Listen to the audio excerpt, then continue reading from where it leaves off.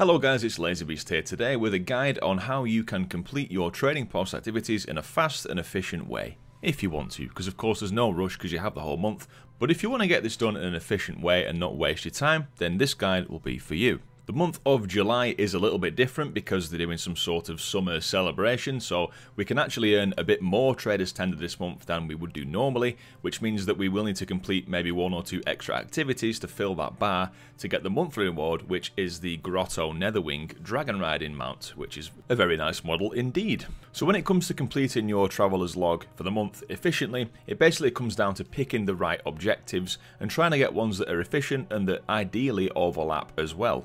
So which ones are those? So you've very probably noticed by now that there are some objectives on the Traveller's Log that are always there every month. For example, complete 15 world quests, complete 5 Mythic Plus dungeons, 15 Mythic Plus dungeons, kill 25 raid bosses, do 30 quests, those kind of things. And these ones usually give quite a good chunk of traders tender, between 150 to 250 if you're lucky. So, you may think that the ideal situation would be is to focus on the ones that give the biggest amount of tender, but what you'll find is some of them are fairly quick to complete, like the 25 rare boss ones, where others, such as complete 15 Mythic Plus dungeons, that's potentially going to take you around 5 to 6 hours if you're efficient. So yeah, not really worth focusing on that. If the only thing that you do in the game is Mythic Plus, then, that, then go for that, that's great.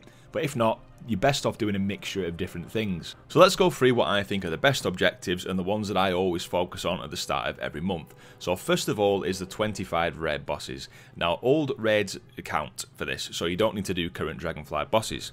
The way I usually do this is to go on a bit of an old raid route, so you want old raids that have a lot of bosses in them ideally, so you're not running to and from different raids.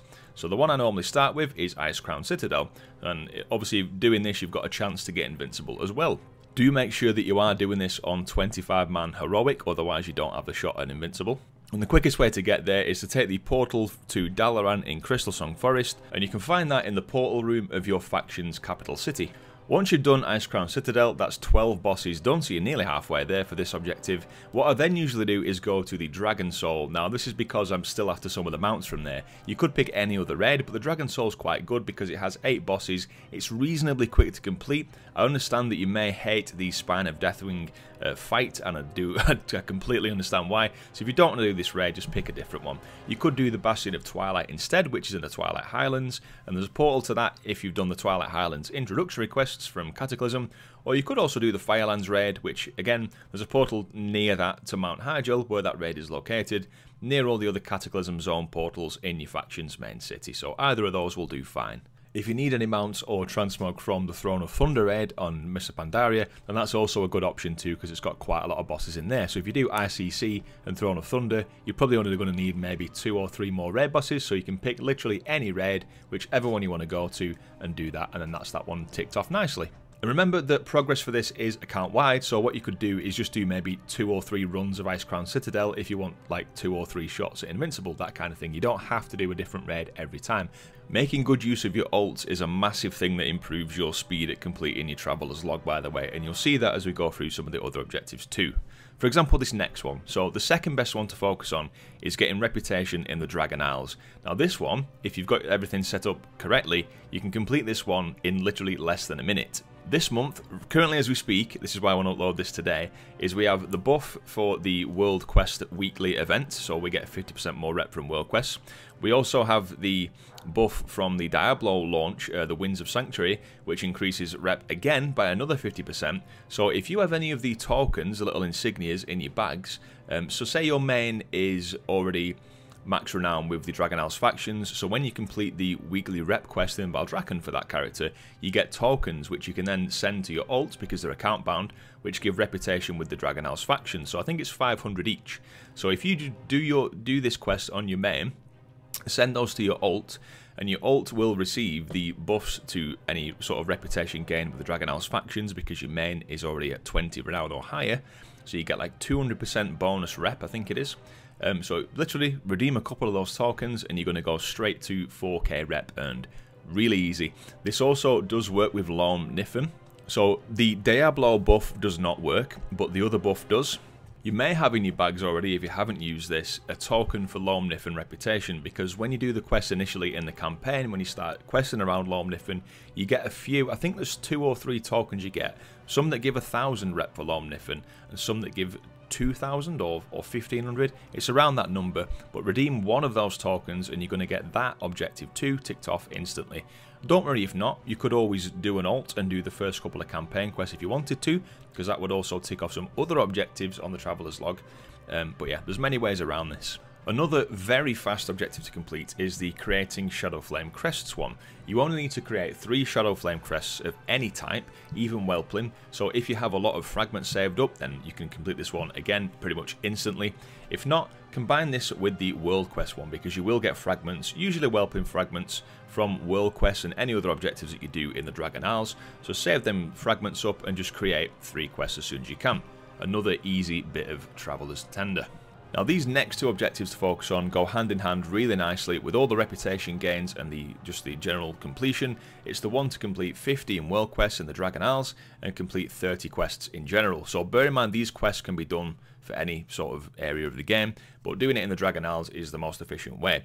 So for the quest objective, because you need to complete twice as many quests as you do world quests, try and focus on the ones that are really small quests. Like, do you know when you get the trophies of glorious combat or whatever they call for the uh, Iskaara Tuskarr faction, handing things like those in, just a simple token, that counts. Some of the world quests do also count as well, which is a bit um, bit strange, but just bear that in mind. When you do things like complete a dragon riding race, that also counts as a quest, so you could just repeat that if you wanted to. But any kind of quests are fine. What I suggest you do is focus on completing the 15 world quests first, because it's likely that other quests will pop up when you're on your route for your world quest that you can just complete at, at the same time to make it a bit more efficient. Now, when it comes to the completing 15 dragon riding races in the Zaralek Caverns, Initially I saw this and thought, no, I'm not going to do that one, that is not going to be efficient, but I give it a go and actually it turned out to be one of the more efficient ones, probably about the same efficiency if not better actually, than completing the 25 Old World raid bosses. Because the good thing is with the Dragon Riding races, you can just choose one, whichever's the most efficient. It doesn't even have to be a World Quest one currently. You can choose any of the races that you like. You can do it on the same difficulty, so you could just do 15 advanced ones if you want to. But what I suggest that you do, if you're not seeking any sort of particular achievements around these, like the gold, advanced races and all that kind of thing, then if you just do the race on the most basic difficulty, it's pretty much just going around on autopilot. All you have to do is aim. You can just do those quite quick. It'll take you between sort of 15 to 20 minutes because each race tends to be around sort of 60 seconds. So yeah, 15 20 minutes, you're good to go. And if the dragon riding race that you do choose is a world quest, then that'll also give you some credit towards that as well. Another very good objective to focus on is the one with the researchers under fire event, so kill 50 creatures while this event is active. Now if this is up every month then brilliant, it might not be, it might be a slightly different version of the objective, maybe just to complete the event or to complete a certain amount of objective points in the event, but whatever it is, it's likely a good one to focus on. The event is up fairly often, there is around a half an hour period after it's finished where you need to wait for it to restart again, but just keep an eye on your map when you're in the Zaralek Caverns, you can see when this event's going to start, so just head over, try and get a group if possible, because it makes it quite a bit easier, and then just complete the objective there for a nice amount of progress. So those are the objectives that I would do every single month, so the 25 old rare bosses, 30 quests, 15 world quests, completing, um, sorry, creating Shadowflame crests, and doing the races if there's any Dragon Ride racing ones. Once you've done all those, you'll likely have between sort of 800 to 1000 tender, you should do.